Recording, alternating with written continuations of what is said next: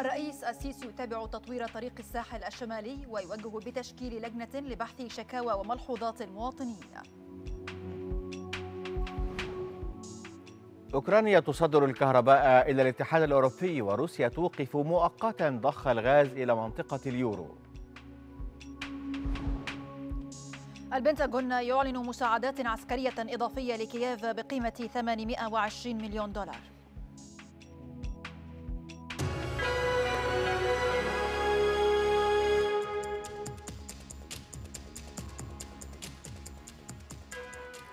التاسعة مساء. السابعة بتوقيت جرينتش نشرة إخبارية مفصلة تأتيكم من eXtra News في القاهرة.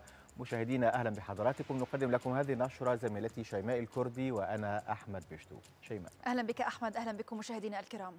ذكر بيان رسمي عن رئاسة الجمهورية أن رئيس السيسي يتابع الأعمال الجارية حاليا لتطوير طريق الساحل الشمالي مؤكدا أن هناك متابعة شخصية من قبل الرئيس لآراء وملحوظات المواطنين بشأن الطريق. هذا وأشار البيان إلى أنه لم يتم الانتهاء بعد من تطوير الطريق بالشكل الكامل والنهائي بما يشمل كافة الأعمال الفنية وتزويده بالخدمات والإرشادات المرورية اللازمة لتنظيم حركة السيارات. هذا وقد أفادت مصادر مطلعة بأن الرئيس السيسي وجه بتشكيل لجنة من الاستشاريين والخبراء الفنيين لبحث شكاوى وملحوظات المواطنين.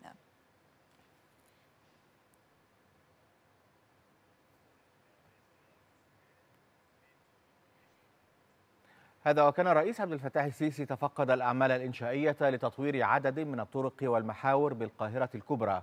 ووضح المتحدث باسم رئاسة الجمهورية بأن جولة الرئيس تضمنت تفقد سير العمل بتطوير كورنيش المقطم فضلا عن المحاور المؤدية إلى هضبة المقطم والتي ستساعد على سهولة وسرعة ربطها بمختلف أحياء القاهرة كما تتيح الانتقال على نحو يسير بما فيها محور ياسر رزق الذي سيربط منطقة وسط البلد وطريق صلاح سالم بهضبة المقطم.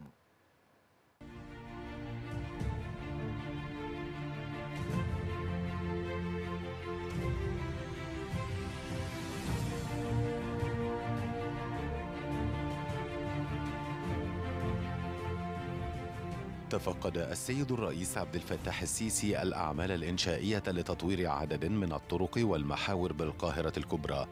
المتحدث الرسمي باسم رئاسة الجمهورية. صرح بأن جولة السيد الرئيس تضمنت تفقد سير العمل بتطوير كورنيش المقطم فضلا عن المحاور المؤدية إلى هضبة المقطم والتي ستساعد على سهولة وسرعة ربطها بمختلف أحياء القاهرة وتتيح انتقال المواطنين على نحو يسير. بما فيها محور ياسر رزق الذي سيربط منطقة وسط البلد وطريق صلاح سالم بهضبة المقطم. محور ياسر رزق يا فندم اللي سيادتك مشرفنا عليه واللي بيبدأ يا فندم من تقاطعه مع طريق صلاح سالم وحتى نفق الأسمرات بطول أسفل محور حسب الله الكفراوي بطول 9 كيلو متر إن شاء الله يا فندم جاري التخطيط ربطه على كوبري دكتور صلاح الدين الشاذلي ثم كوبري العاشر والربط على كورنيش النيل اسمح لي سيادتك نتكلم بالتفصيل عن محور ياسر رزق اللي سيادتك مشرفنا عليه. إحنا دلوقتي يا فندم واقفين في النقطة اللي هي تعتبر المرحلة الثانية من محور ياسر رزق اللي بتبدأ من صلاح سالم وحتى آخر شارع تسعة بطول 2 كيلو متر الطريق ده يا فندم قبل التطوير كان عبارة عن اثنين حارة مرورية لكل اتجاه وكان فيه منحنيات تصميمية غير آمنة وخطرة. نظرا للطبيعة الجبلية اليمين وشمال سيادتك صدرت توجيهات سيادتك إن إحنا نشتغل ونحول الطريق إلى خمسة حارة مرورية لكل اتجاه مع ضبط المناسيب والمنحنيات والميول الأفقية لتطابق السرعات والمواصفات. كما قمنا بتنفيذ كميات حفر يا فندم في الصخور. في المرحلة دي وصلت لمليون متر حفر وأنقت الميول الجانبية للحفاظ وضمان سلامة المرور أعلى الطريق بعد افتتاحه. إن شاء الله يا فندم بمجرد نهو المشروع ده بإذن الله يبقى خلقنا محور موازي كامل للطريق الدائري بيبدأ من صلاح سالم ووصولا إلى محور جمال محمد علي ثم القاهرة الجديدة. وبكده يبقى ربطنا يا فندم مناطق جنوب القاهرة بمناطق شرق القاهرة ووصولا إلى العاصمة الإدارية الجديدة. وأي أوامر يا فندم؟ شكرا يا أحمد. أوامر سيادتك طيب أنا بس جات لي يعني شكوى كده إن أنتم الشغل هنا مخلي في إعاقة للحركة. إن شاء الله يا فندم إحنا شغالين 24 ساعة. فطبعا يا فندم ما كانش ينفع إن الطريق شغال. وفي عربيات ماشية عشان لا قدر الله في حاجة وقعت ما تحتملش مشكلة. وبالتالي يا فندم إحنا ضغطنا 24 ساعة وبإذن الله يا فندم المشروع ده بمجرد ما يتفتح كل شكاوى المواطنين إن شاء الله هتتلاشى وبإذن الله هتبقى تت- تتقلب لشكر إن شاء الله طب إحنا هنخلصها إمتى؟ إن شاء الله يا فندم إحنا التسعة كيلو دول. التسعة كيلو. إحنا سيادتك مقسمينهم مرحلتين زي ما قلت سيادتك الأسبقية العاجلة دلوقتي يا فندم اللي هي من ياسر من صلاح سالم وحتى شارع تسعة دي 30 8 بإذن الله.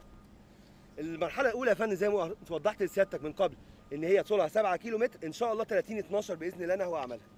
طيب إمتى الإعاقة دي تقل أو تت- تنتهي؟ مش هقول من من المشروع كله يكون خلص احمد تمام سيادتك لكن على الأقل اللي هم المرحلة الأولى دي كنا لما خلصت تريح الناس. إن شاء الله يا فندم. تريح الناس خالص. بإذن الله يا فندم. طيب. بإذن الله. طيب. وبرضه يا فندم بعد إذن سيادتك إحنا جاري دلوقتي تنفيذ مشروع كورنيش المقطم اللي بيبدأ من حي الأسمرات بطول 7 كيلو متر وحتى ميدان النافورة آخر شارع 9 والكورنيش ده فندم تقريبا ما كانش موجود غير منه من مسافة كيلو متر واحد بطول 8 متر. دلوقتي خليناه 2 حارة و2 حارة بعرض 15 متر. بطول 7 كيلو متر. وده يعتبر أعلى محور ياسر رزق. وجاري الدراسة والعرض على سيادتك إن إحنا إزاي نربط الكورنيش بمحور ياسر رزق إن شاء الله. يبقى أنا قدرت أنقل الحركة كاملة المرورية من كورنيش النيل لكورنيش المقطم. يا فندم في مده لا تتجاوز ال 10 دقائق طب شارع تسعة هيكون. إيه؟ إحنا سيادتك دلوقتي جاري تنفيذ كوبري في بداية شارع 9 يا فندم. آه شفت الكوبري ده إن شاء الله هنخلصه 30 7 بإذن الله. وهنعمل هنفتح الح- حر الحركة المرورية تحتيها يا فندم إن شاء الله بحيث يبقى المنطقة دي كلها دي كانت منطقة اختناق مروري. أيوة. إن شاء الله هتفك بنهاية شهر 7 بإذن الله. طب المحور بقى نفسه. المحور يا فندم نفسه آه، هن- هندرسه يا فندم ونخططه ونعرض على سيادتك الأسلوب الأمثل ليه. يعني لسه أنتم ما لسه. مرحلة التخطيط يعني. أيوه فندم. مش كده؟ طيب أنا يعني طبعا بشكرك على على الشرح ده. لكن. أنا يهمني إن الناس في مصر تعرف وتحديدا في القاهرة اللي فيها أكبر كتلة آه، كتلة حركة يعني. تمام. في مصر كلها بالكامل. تمام. إن إحنا اشتغلنا بخطة متكاملة في النهاية نقدر نقول إن القاهرة سواء شرق القاهرة أو غرب القاهرة إحنا حلينا فيها حركة العربيات يمكن لغاية خمس عشر سنين قادمين. بالظبط فندم. فالناس لازم تبقى بس عارفة وسامعة مني الكلام ده دلوقتي إن إحنا لما نيجي نتكلم على ال يعني كان الطريق الدايري اللي هو بيربط اللي هو الفاصل ما بين القاهرة الجديدة و- وشرقا تمام. وبقية القاهرة. تمام سيادتك لما خلصناها كلها بالكامل عملنا المحاور اللي هي 16 على 16 الكوبري محور اللي أنتوا بتشوفوهم. اللي هو في النهاية ربط ربط شرق القاهرة. مش كده؟ أيوه فندم. وبالجزء اللي هو غرب. غرب الطريق الدائري بالكامل. تمام سيادتك ثم لما خلصنا ده اشتغلنا بقى في كل المحاور في, الداخلية. في الداخلية فيها وظبطناها وخلينا الحركة فيها يس- يسيرة. أنا بس عايز أقول لكم اتفضل. إن الكلام ده لو ما كانش اتعمل خلال الأربع خمس سنين اللي فاتوا كانت القاهرة أصيبت بالشلل الكامل كاملا. وحجم العمل اللي اتعمل في هذا المجال غير مسبوق وبتكلفة كبيرة جدا جدا. ولكن في النهاية نتائجه في الحركة ح- في التلوث وقلته في في توفير وقت الناس في توفير الوقود في تيسير على الناس الحركة بقت بقت ضخمة جدا. لما خلصنا القاهرة الجديدة ثم المحاور الربط ثم المنطقة اللي غرب ال- الدايري اللي هي الميثاق وسميرة موسى وعمر سليمان والكلام ده كله دخلنا كمان آه، في اتجاه الجنوب. الجنوب. الجنوب زحمة. الجنوب زحمة. أيوه. يعني أحمد كان مهم يقول قوي إن المقطم اللي إحنا بنتكلم عليه ده في كتلة سكانية كبيرة. تمام الكتلة دي كانت بتتحرك إزاي؟ بتتحرك. تمام. لكن فرق إنها بتتحرك ببطء شديد. ببطء شديد وفرق إنها بتتحرك آه، بانسيابية. بانسيابيه اللي إحنا بنعمله ده بيعمل حاجتين. بنكمل ربط وسط القاهرة بشرق القاهرة. مش. كده؟ تمام. إحنا اشتغلنا بمراحل. إحنا بالمناسبة إحنا شغالين كده شغالين في غرب القاهرة في طبعاً. الجيزة. أيوه. وعشان نعمل نفس الكلام ده بس غرب القاهرة. بحيث إن في النهاية الكتلة اللي موجودة جوه القاهرة دي نتيجة حجم آه، حجم المحاور اللي تم شقها في الشرق وغرب القاهرة يتيح للناس الحركة ويخلي جوه القاهرة نفسها الحركة تبقى سريعة شوية. وانتوا لازم تتكلموا مع الناس. تقولوا لهم إن إحنا بنعمل ده هيعمل واحد اتنين تلاتة. ونقول لهم إيه؟ ما تتعجلوش النتائج. لما يخلص المشروع هتجدوا نفسكم زي كل المشاريع اللي اتعملت. لما اتعملت المشاريع كلها الناس كلها حست قد إيه اللي اتعمل ده كان إضافة كبيرة جدا. وعمل لهم تيسير كبير. تحملونا وإحنا بنحاول بقدر الإمكان إن في أضيق وقت ممكن ننجز المشروع. النقطة الثانية اللي أنا عايز أقولها لكم منها حاجة. ده المحور ده موازي لطريق صلاح سالم يا جماعة. يعني أنا النهارده عشان أخليك تطلع على طريق السيده عيشة كوبري السيده عيشة على ال- القلعة. تروح داخل على على صلاح سالم لغاية الآخر أو تخش على طريق السكة البيضاء مش كده؟ أيوه فهمت. لا ده أنا عملت لك محور جديد. أخليك تقدر تخش منه لغاية قواعد جديده القاهره الجديده من المحور ده. فده حاجة تانية خالص وإضافته وت- وتيسيره للحركة غير مسبوق. أنا بقول الكلام ده لكم عشان آه، يعني ما يبقاش في فرصة قوي إن إحنا نشرح الكلام ده بشكل مباشر. الكلام ده بيتعمل بتكاليف كبيرة. التكاليف ديت بحجم الحركة اللي هتيسرها بحجم الوقود اللي هيتخفض بحجم التلوث اللي هينتهي آه، بحجم الفرص اللي هتتنشئ. آه، هتلاقي في أراضي كانت هنا غير متاحة بقت متاحة. ممكن يتعمل عليها آه،. خدمات للناس اللي موجودة. في زي طريق الكورنيش لما قالوا لنا قلت لهم لا وسعوا على الناس واعملوا كورنيش جميل خلوا الناس اللي موجودة في في المقطم تسعد بيه بإذن الله هنا بس أنا عايز أقول عايزين ننجز ما امكن المشروع دوت واعرضوا عليا التقرير بتاع شارع تسعة ونكمل كده. عايز تقول لي إيه؟ هو بس بس بوصل لسيادتك استكمالا لسيادتك اتفضلت قلته بالنسبة للموضوع الضيق والحركة المرورية لبعض الأوقات إحنا في أوقات الثانوية العامة والاختبارات بن- بنحاول دايما إن إحنا نوقف أي أعمال لينا أثناء ال- الامتحانات الثانوية العامة اللي قبل البدء بساعتين وبعد النهو بساعتين بحيث إن الطلبة يقدروا يوصلوا مدارسهم بسهولة وده إحنا مراعينه تماما يا فندم. غير كده أي حاجة تانية داخل الجبل بنشتغل 24 ساعة. وذكر المتحدث الرسمي أن السيد الرئيس تطرق إلى الأعمال الجارية حاليا لتطوير طريق الساحل الشمالي مشيرا سيادته إلى متابعته الشخصية لآراء وملحوظات المواطنين بشأن الطريق ومؤكدا سيادته بأنه لم يتم الانتهاء بعد من تطوير الطريق بالكامل وبشكل نهائي. توقع موضوع تاني وأنا بقوله عشان ما حدش تعرض له بالشكل ده. يعني أنا بسمع آه، أنا متابع أي شكوى من اي من أي شكل من الأشكال زي الطريق ال- الساحلي. أنا بس عايز أقول إيه المفروض إن الطريق ده يخلص 30 7 نص 8 هو ما خلص. وده أمر انتبهوا له كويس لأن هو لما ينتهي الطريق الطريق بينتهي بكل الشغل ال- الفني اللي عليه ثم بيتعمل له الإرشاد اللازم ثم بتتحط عليه عناصر الشرطة اللي ضبطه زي ما إحنا عايزين وبالتالي بقى معقول طريق كان حارتين ولا ثلاثة هيقارن بطريق عرضه ست سبع حارات ويبقى ده فيه مشكلة؟ لا بس انتظروا لما الموضوع يخلص ويتشرح لكم. وأنا ببقى مستغرب جدا إن القائمين على الطريق مش قادرين يوصلوا إن الطريق ما خلصش إن الإرشاد بتاعه لسه ما انتهاش التخطيط بتاعه لسه ما انتهاش. وبالتالي هيبقى حكم مش مظبوط. وبالمناسبة هو إحنا هنعمل الطريق وانتبهوا للكلمة اللي بقولها دي للي بيسمعني هنعمل الطريق على قواعد المرور ولا هنعمله على آه، أسلوب الناس في في الحركة؟ قواعد المرور فندم. لا قواعد المرور يا جماعة. ولازم كلنا نتفق على كده. واللي بيتحرك على الطريق بعدين انت لو كنت بتتحرك وتيجي تعمل دوران للخلف آه، تروح آه، تتحرك سطحي تعمل حادثة مع المقابل يتعمل كوبري تطلع فوق منه مش قادر تهدي شوية عشان تسمح لغيرك. زي ما انت بتتحرك هو يتحرك. وبعدين أنتوا لازم تنتبهوا إن كل الشغل ما بيتعمل في ناس بتقعد الهدف منها إنها تشكك وأنا بقول الكلام ده دلوقتي تشكك في اللي بيتعمل وتسيء إليه بعد كل الجهد ده وبعد كل التكلفة ديت.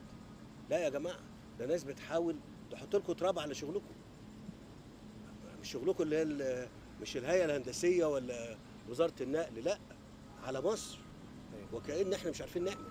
الداخلية هتبقى ال- التخطيط بتاع الطريق هيتعمل.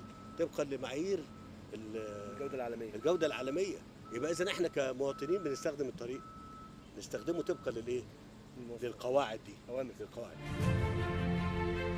كما توقف السيد الرئيس لمتابعة أعمال تطوير كورنيش المقطم وتحويله إلى ممشى سياحي. فوق سيادتك بنه- بنهذب الكورنيش ونظبط لأنه كان منطقه عشوائيه جدا وطبقا لتعليمات سيادتك. بنظبط آه، آه، كورنيش فوق. بعد كده سيادتك في نازله هتبقى نازله من هنا آه، بكوبري على محور الحضارات يوصل يكمل قدام محور الحضارات لغاية كورنيش النيل. بحيث إن المحور ده سيادتك يكون موازي كامل للدايري جزء منه طالع من صلاح سالم وجزء جاي من كورنيش النيل موازي للدايري بالكامل واصل لغاية آه، آه، محور جبال محمد علي. سيادتك وإحنا شغالين على على الهضبة دي سيادتك إحنا آه، لاحظنا إن ال- أو إحنا شغالين بقى بقى إن كل أغلب ال- المناطق فيها ردم ردم قديم وردم عشوائي يعني مش معروف له classification مش مش معروف له مواصفه فسيادتك إحنا حاليا بنشوف الكلام ده وهن- وهنظبطه. لو في تعديل بسيط أو حاجة بعدين سيادتك يعني لو هشام هيعرض على سيادتك الموقع ده. بحيث ما يحصلش بعد كده في المستقبل أي حاجة أي تهيل زي. أي انهيارات زي زمان. يعني هو عبارة عن تأهيل للجبل يعني. ده اللي فوق ده تأهيل للجبل. اللي عشان نوصل لحاجتين نوصل تحت الطريق طاق ياسر رزق اللي هو يكمل المحور كله من طريق صلاح سالم لغاية ما نوصل لجمال محمد علي مرورا أسفل آه، آه، محور المهندس حسب الله الكفراوي. من هنا. شكرا يا هاني أوامر فندم. شكرا.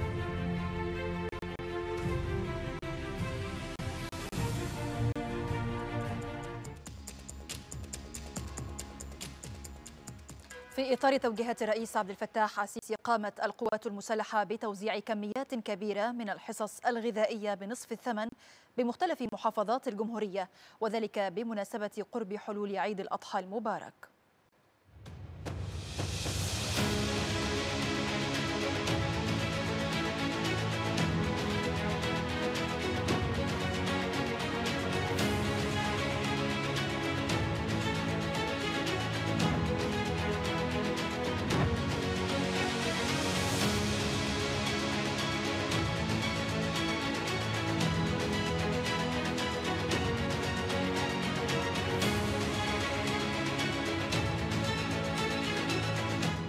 في إطار توجيهات السيد الرئيس عبد الفتاح السيسي رئيس الجمهورية القائد الأعلى للقوات المسلحة لتخفيف العبء عن كاهل المواطنين وتوفير السلع الغذائية بأسعار مخفضة بمناسبة قرب حلول عيد الأضحى المبارك. أصدرت القيادة العامة للقوات المسلحة أوامرها لهيئة الإمداد والتموين للقوات المسلحة بتجهيز أكثر من مليون حصة غذائية وتوزيعها بنصف الثمن. على كافة محافظات الجمهورية التي تقع في نطاق الجيوش الميدانية والمناطق العسكرية.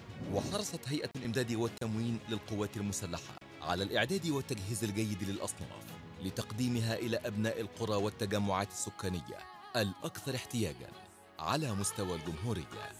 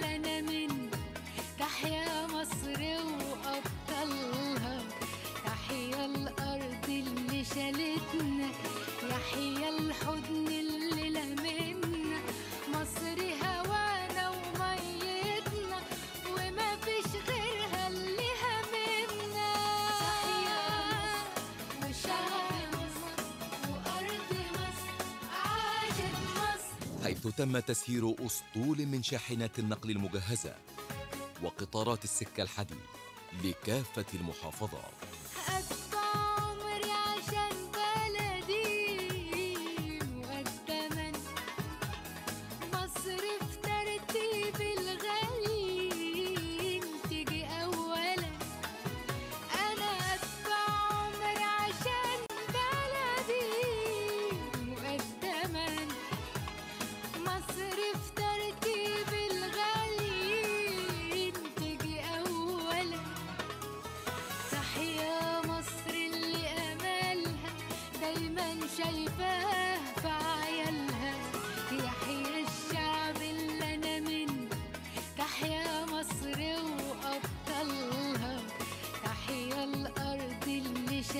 içinde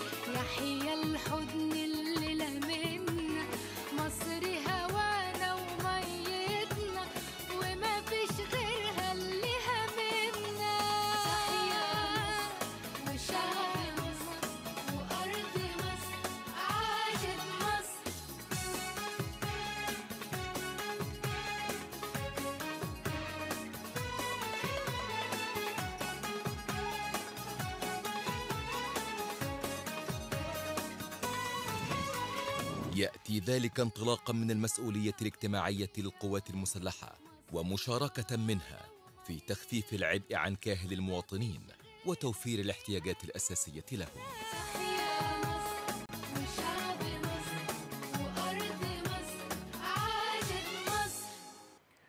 ومن جانبه أعلن التحالف الوطني للعمل الأهلي التنموي عن تقديم الدعم النقدي ل 142 ألف أسرة في صورة إعانات ومنح نقدية بتكلفة إجمالية تقدر ب 125 مليون جنيه بمناسبة عيد الأضحى المبارك تنفيذا لتوجيهات الرئيس عبد الفتاح السيسي.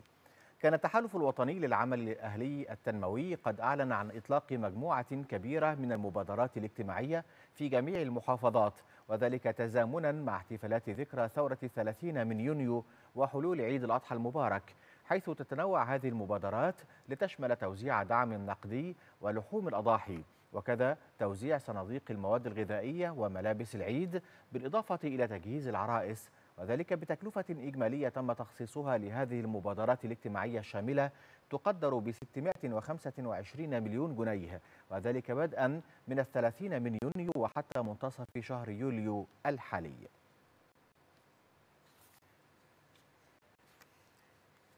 واصلت وزارة الداخلية حملاتها اليومية لمتابعة أسعار السلع الاستراتيجية وضبط قضايا حجب السلع والبيع بأسعار أزيد من السعر الرسمي.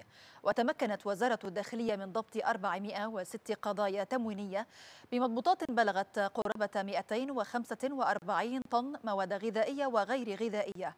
وفي مجالي حجب السلع الاستراتيجية والاستيلاء على السلع المدعومة تم ضبط أكثر من 209 أطنان مواد غذائية وغير غذائية. وفي مجال عدم الإعلان عن الأسعار بقصد البيع بأزيد من السعر الرسمي للسلع الغذائية تم ضبط قرابة 31 طن.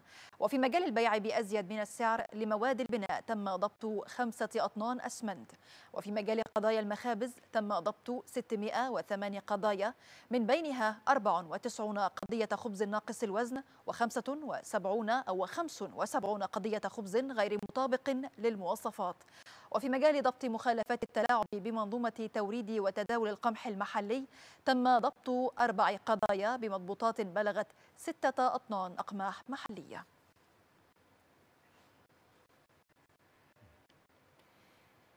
نفى المركز الإعلامي لمجلس الوزراء صحة شائعة حول فشل المشروع القومي لإحياء البتلو في زيادة الإنتاج الحيواني.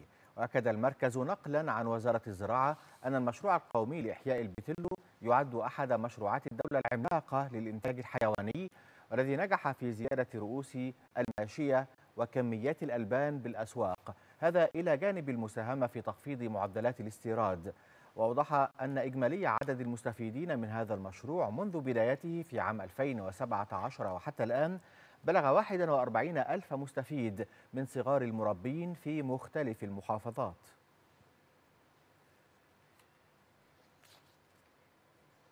أمرت النيابة العامة بحبس زوج المجني عليها الإعلامية شيماء جمال احتياطيا على ذمة التحقيقات لاتهامه وآخر بقتلها عمدا مع سبق الإصرار وجاري استكمال التحقيقات.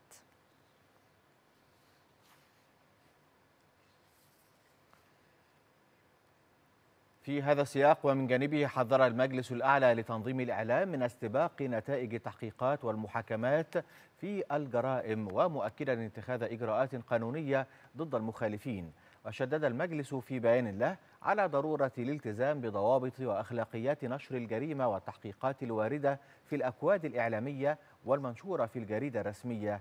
ومن بين بنودها عدم استباق نتائج التحقيقات والمحاكمات وعدم بث تفاصيل يمكن أن تؤثر على سير العدالة وعدم النقل عن المصادر المجهلة ووسائل التواصل الاجتماعي إلا بعد التأكد التام من دقة الخبر قبل نشره. وكذلك مراعاة واحترام الحق في الخصوصية وحرمة الحياة الخاصة.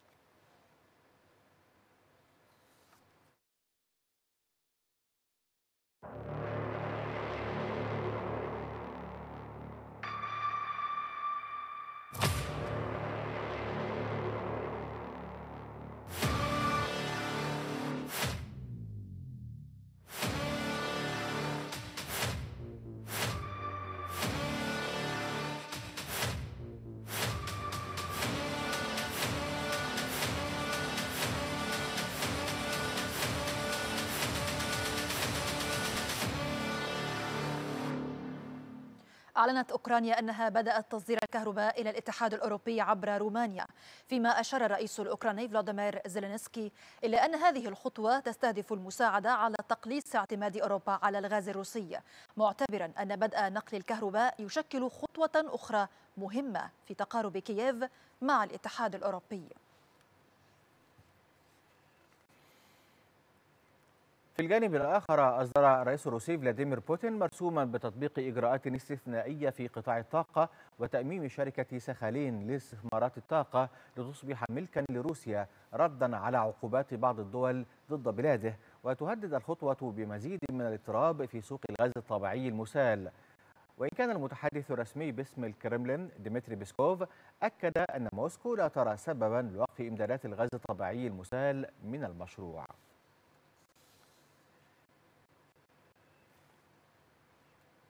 أعلنت موسكو إيقافا مؤقت لضخ الغاز إلى أوروبا عبر خط الأنابيب نورد ستريم في الفترة من الحادي عشر إلى الحادي والعشرين من يوليو.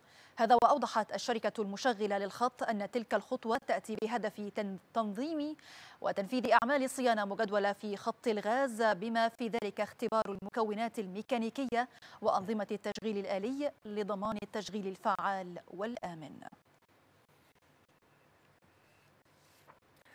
هذا وكشفت مصادر مطلعة في الحكومة الليتوانية أن مشغلي الشبكات الأوروبية مستعدون لخطة طويلة الأجل لإدخال دول البلطيق في نظام الاتحاد الأوروبي حال قطعت موسكو إمدادات الطاقة عنها. وتعتمد دول البلطيق الثلاث إستونيا ولاتفيا وليتوانيا على روسيا لضمان استقرار إمدادات الطاقة وذلك بعد مرور 30 عاما من الانفصال عن الاتحاد السوفيتي السابق و17 عاما على الانضمام إلى الاتحاد الأوروبي. ولدى دول البلطيق خطة طويلة الأمد لتصبح جزءا من الشبكة الأوروبية اللامركزية لشبكات الطاقة بحلول عام 2025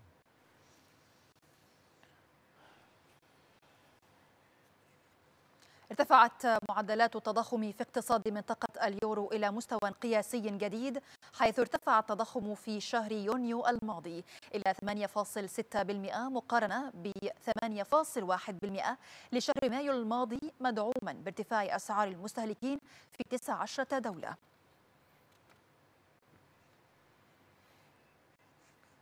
في هذا السياق وفي إيطاليا سجلت أسعار المستهلكين ارتفاعا بنسبة 8% في يونيو على أساس سنوي مدفوعة بأسعار الطاقة التي ارتفعت أيضا مقارنة بشهر مايو. وقال المعهد الوطني للإحصاءات في إيطاليا إن أسعار الطاقة ارتفعت بنسبة 42% وما ساهم في رفع التضخم في البلاد إلى أعلى مستوياته منذ يناير من عام 1986 فتحت المؤشرات الرئيسية في وول ستريت على انخفاض في بداية قاتمة للنصف الثاني من العام.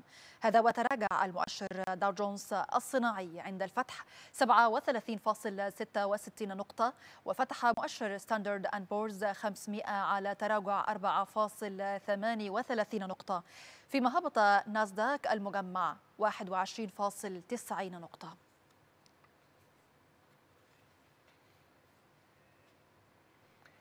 في المقابل ارتفعت أسعار النفط بدولارين نحو 3% لتعوض معظم انخفاضات الجلسة السابقة.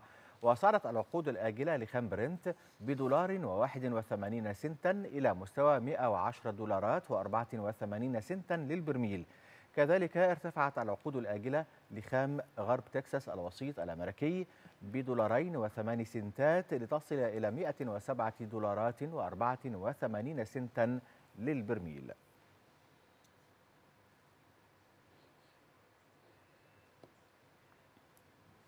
ذكرت وول ستريت جورنال أن السلطات الأمريكية سمحت لناقلة تحمل مشتقات نفطية من روسيا بدخول ميناء ولاية لويزيانا وتفريغ حمولتها هناك بعد أن تبين أنها لم تنتهك العقوبات ضد روسيا. وأشارت الصحيفة أن شركة فيتول التي استأجرت السفينة دايتونا أعربت عن التزامها الكامل بالعقوبات التي فرضتها الولايات المتحدة ضد تصدير المنتجات النفطية من روسيا. هذا وكان من المقرر أن تصل السفينة إلى ميناء مدينة نيو أورلينز الأحد الماضي لكنها لم تتمكن من التفريغ بسبب عمليات التفتيش. قال مكتب الإحصاءات التابع للاتحاد الأوروبي أن العمليات العسكرية الروسية في أوكرانيا أربكت أسواق السلع الزراعية في العالم وما تسبب في ارتفاع حاد في أسعار المنتجات الرئيسية وعناصر الإنتاج كالأسمدة وعلف الحيوان. أظهرت بيانات مكتب الإحصاءات التابع إلى الاتحاد الأوروبي أن متوسط سعر السلع والخدمات التي يتم استهلاكها حاليا في الزراعة زاد بنسبة 9.5% في الربع الأول من العام الحالي مقارنة بالربع الأخير من العام الماضي بما في ذلك زيادة نسبتها أكثر من 21% في سعر الأسمدة ومحسنات التربة.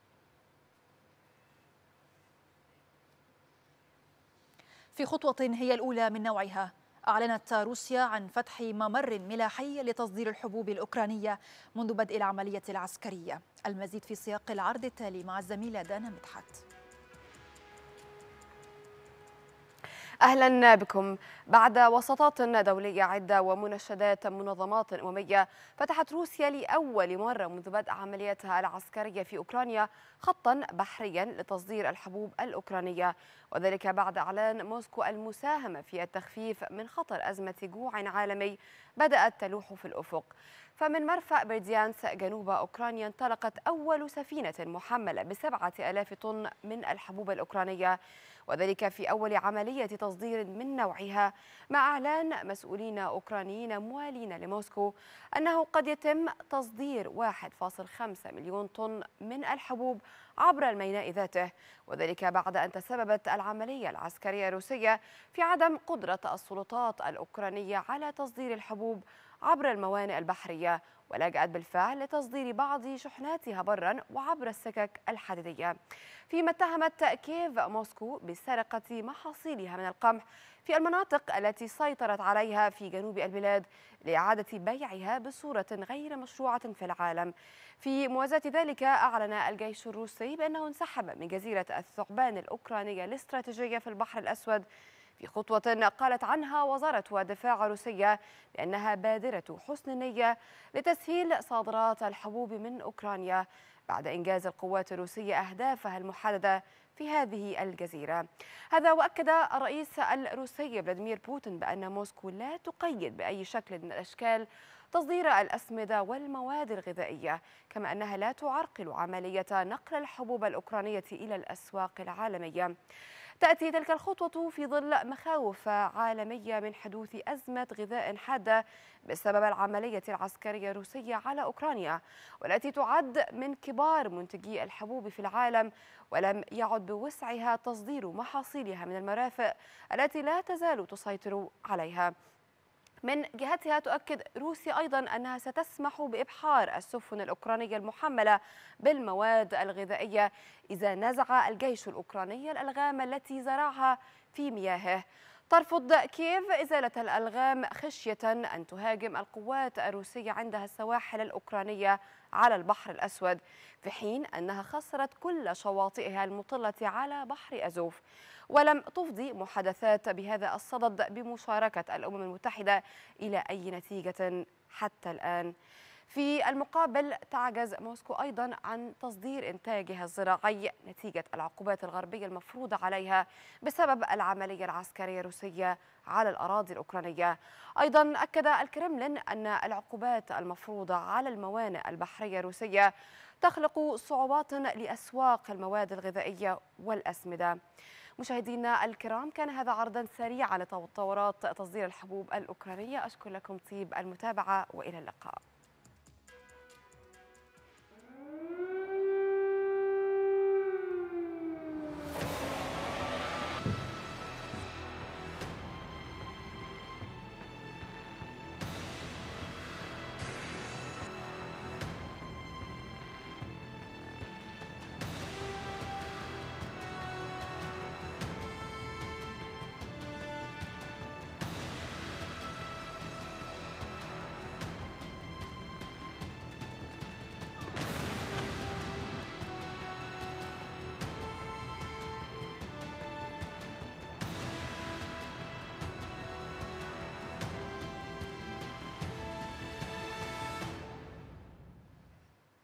نبقى إذن في سياق الأزمة حيث أعلنت وزارة الدفاع الأمريكية البنتاغون عن إقرار مساعدات عسكرية إضافية لأوكرانيا بقيمة 820 مليون دولار.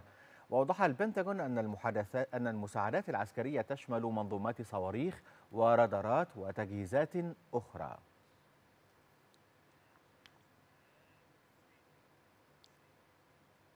ذكرت مصادر مطلعة لوكالة بلومبرغ الأمريكية أن الاتحاد الأوروبي يدرس تقديم مساعدة مالية قصيرة الأمد بقيمة مليار يورو لأوكرانيا لدعم الاحتياجات النقدية الملحة في البلاد. وأوضحت المصادر أن مسؤولي الاتحاد الأوروبي قاموا بإعداد خيار الدعم بعد إخفاق المفوضية الأوروبية في تأمين موافقة برلين على حزمة كان من شأنها أن تستلزم قروضا بقيمة 8.8 مليار يورو.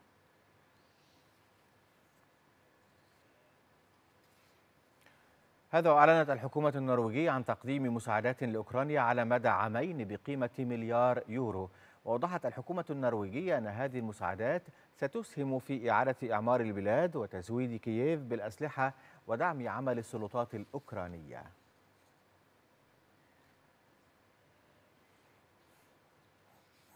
قالت وزيرة الخارجية البريطانية ليستروس إن المساعدات المقدمة إلى أوكرانيا تهدف لإرساء السلام والأمن في أوروبا. وشددت الوزيرة البريطانية على ضرورة مساعدة الأوكرانيين على استعادة اقتصادهم وإعادة فتح ميناء أوديسا والموانئ الأخرى الأوكرانية مضيفة أن الأمر لا يتعلق فقط بتمويل الحرب بل أيضا بالإنفاق اليومي في أوكرانيا.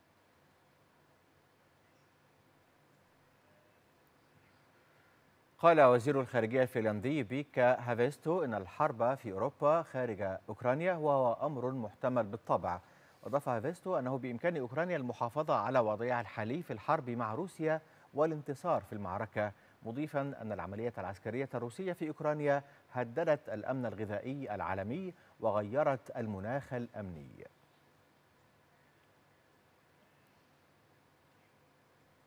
بعد أكثر من أربعة شهور للعملية العسكرية الروسية في أوكرانيا يغيب عن الأفق حل سلمي ينهي تلك الأزمة التي تركت للغة السلاح لحسمها على الأرض حتى الآن. المزيد من التطورات الميدانية للأزمة في العرض التالي مع الزميلة دانا مدحت. أهلا بكم. لا تزال الأزمة الروسية الأوكرانية تراوح مكانها في ظل تواصل القتال في الشرق الأوكراني. تزامنا مع حراك سياسي كبير ضد روسيا يقوده الغرب للضغط على موسكو لوقف إطلاق النار والدخول في مفاوضات لإنهاء هذه العملية. في أحدث التطورات الميدانية على الأرض قد أعلن الجيش الروسي انسحاب قواته من جزيرة الثعبان الأوكرانية الاستراتيجية في البحر الأسود والتي كانت روسيا قد سيطرت عليها بالفعل. في إجراء قالت عنه موسكو إنها بادرة حسن نية بعدما أنجزت القوات الروسية أهدافها المحددة في جزيرة الثعبان وسحبت كتيبتها منها. شدد بيان وزارة الدفاع على أن من شأن هذه البادرة تسهيل صادرات الحبوب من أوكرانيا. إعلان وزارة الدفاع الروسية الانسحاب من جزيرة الثعبان. تبعه الإعلان في إقليم زاباروجيا الأوكراني الذي تسيطر عليه القوات الروسية جزئيا بأن سفينة محملة بسبعة ألاف طن من الحبوب أبحرت بالفعل مرفأ برديانسك. قال رئيس إدارة المنطقة أنه بعد توقف دام عدة أشهر غادرت أول سفينة تجارية مرفأ برديانسك التجاري محملة بسبعة ألاف طن من الحبوب إلى دول صديقة لم يحددها. عن الوضع الميداني الملتهب. أعلنت وزارة الدفاع الروسية أن لديها ستة ألاف أسير أوكراني لافتة في هذا الصدد إلى أن عملية تبادل الأسرى التي جرت مؤخرا تمت بأمر القائد الأعلى للقوات الروسية.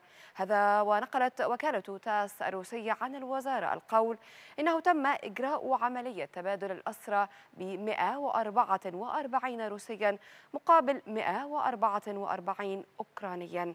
أما على الصعيد السياسي المتأزم بين الغرب وبين روسيا فإن حلف شمال الأطلسي أعرب بالفعل عن تخوفه خلال قمتها الأخيرة بمدريد من التحول الكبير في سياسات الحياد العسكري والتي انتهجها أعضاؤه على مدى عقود والذي ينظر بالفعل بتصاعد منحى الصراع ما بين روسيا وحلفائها من جهة وبين الولايات المتحدة وحلفائها من جهة أخرى.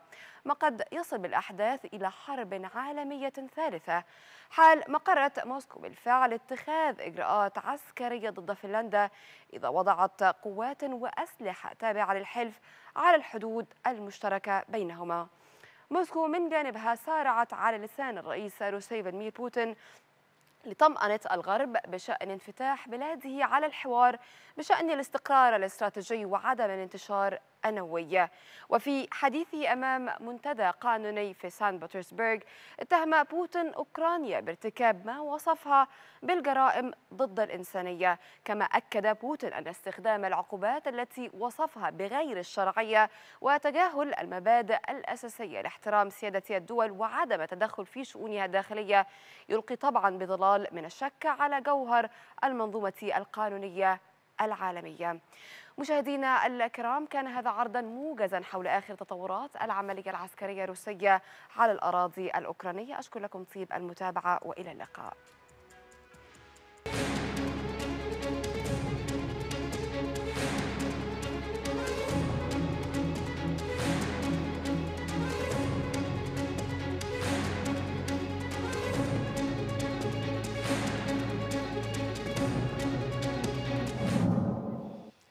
كل عام أنتم بخير. فقد بدأ آلاف الحجاج في الوصول إلى مكة المكرمة في المملكة السعودية من بين ما يقارب نحو مليون.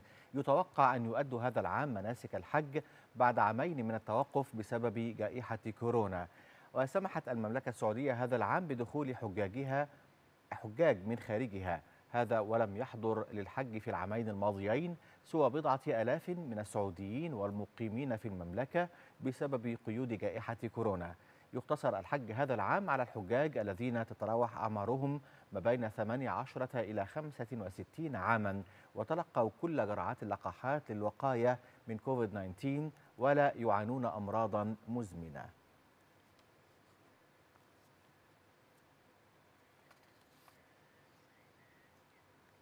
تتميز المدينة المنورة باحتضانها للعديد من المواقع التاريخية والأثرية التي تعد عنوانا بارزا للتاريخ الإسلامي ومقصدا دينيا لزوارها. مفد إكسترا نيوز إلى الأراضي المقدسة همام مجاهد زار بعضا منها ووافانا بهذا التقرير. منذ أن تطأ قدماك مدينة رسول الله يأسرك مسجدها النبوي. لكن مزارات أخرى تهفو إليها أفئدة الزائرين تحمل مكانة تاريخية وقدسية دينية. مسجد القبلتين ويشتهر ببياضه الناصع يقع في الطرف الغربي من المدينة المنورة وترجع تسميته عندما أمر الله تعالى نبيه محمد بالتوجه في الصلاة إلى الكعبة المشرفة بعدما كان المسجد الأقصى قبلة المسلمين. فغير النبي محمد اتجاه القبلة أثناء صلاته إلى الاتجاه الجنوبي نحو مكة. مر المسجد بمراحل تطوير مهمة بدءا من الخليفة عمر بن عبد العزيز حتى تطويره في العصر الحالي من قبل الحكومة السعودية. على بعد سبعة كيلومترات جنوبا يقع واحد من أهم المساجد في المدينة مسجد قباء. هو أول مسجد بني في الإسلام وأكبر مساجد المدينة بعد المسجد النبوي.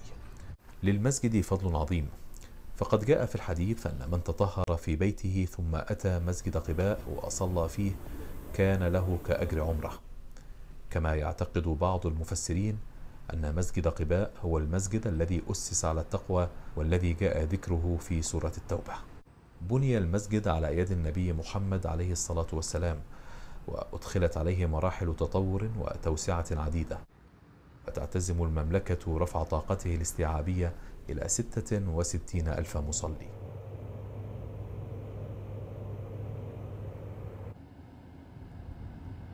السائر في شوارع المدينة المنورة لابد أن يرى جبالها المحيطة بها لا سيما جبل أحد الذي يمتد كسلسلة من الشرق إلى الغرب ويميل نحو الشمال. وللجبل مكانة دينية لما ورد عن النبي صلى الله عليه وسلم هذا جبل يحبنا ونحبه. وله أيضا قيمة تاريخية فتنسب إليه موقعة أحد الشهيرة التي وقعت في السنة الثالثة للهجرة واستشهد فيها سبعون صحابيا منهم حمزة بن عبد المطلب ويضم الجبل قبورهم قبل أن ينقل رفاتهم حديثا إلى موقع المقبرة الجديد حماية لها من السيول في سبعينيات القرن الماضي. من المدينة المنورة همام مجاهد إكسترا نيوز.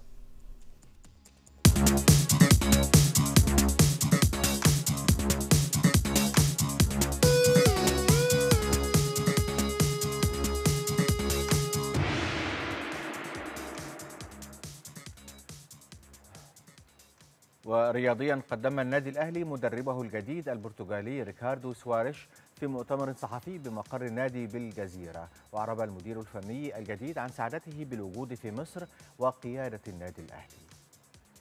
sei eh, da responsabilidade eh, que é treinar o Ali.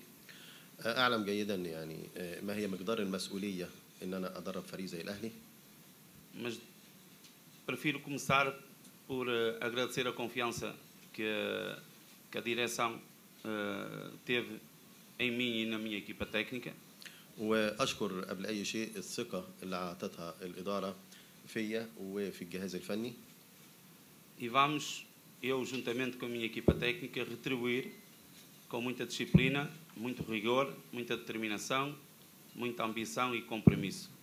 وسوف نظل أنا والجهاز الفني دائما ندعم النادي الأهلي بطموح عالي بالتزام عالي بوضع كل آه، شيء نقدر إن إحنا نقدمه للنادي الأهلي أعلن ليفربول المنافس في الدوري الإنجليزي الممتاز لكرة القدم تمديد عقد المهاجم الدولي المصري محمد صلاح لفترة طويلة مع النادي ليصدر الستار على أشهر من الشكوك والتكهنات والجدل بشأن مستقبله.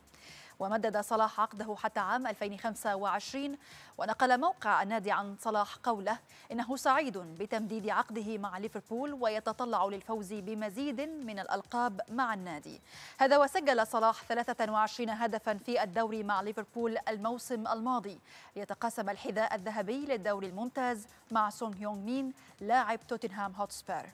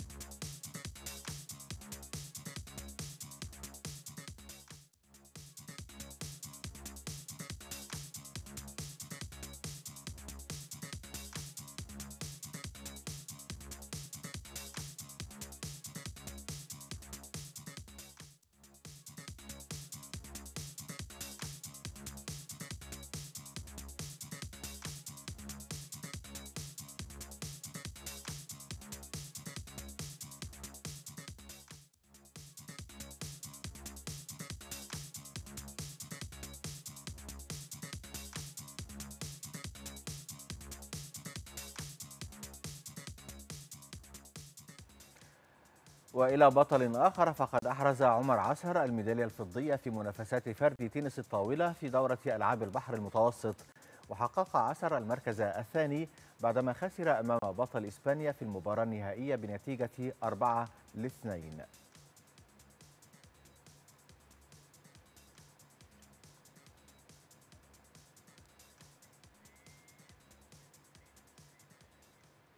حقق أحمد عبد الغني الميدالية الفضية لمنافسات رف- رفع الأثقال وزن 61 كيلوغرام في الخطف لمنافسات دورة ألعاب البحر المتوسط والمقامة بمدينة وهران بالجزائر. وبميدالية رفع الأثقال ارتفع رصيد بعثة مصر ل 28 ميدالية. بينهم ست ذهبيات وسبع فضيات وخمس عشرة برونزيات.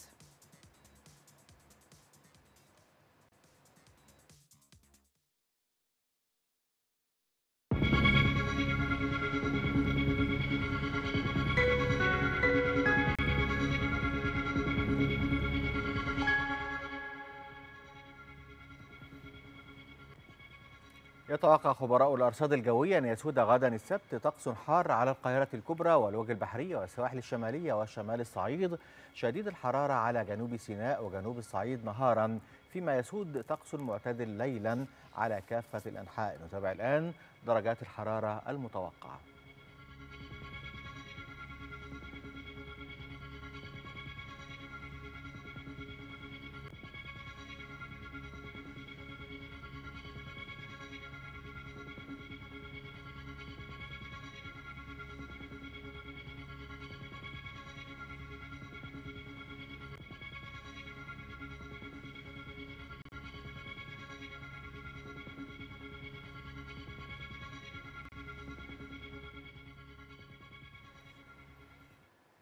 مشاهدينا وفي ختام النشرة نذكركم بالعناوين.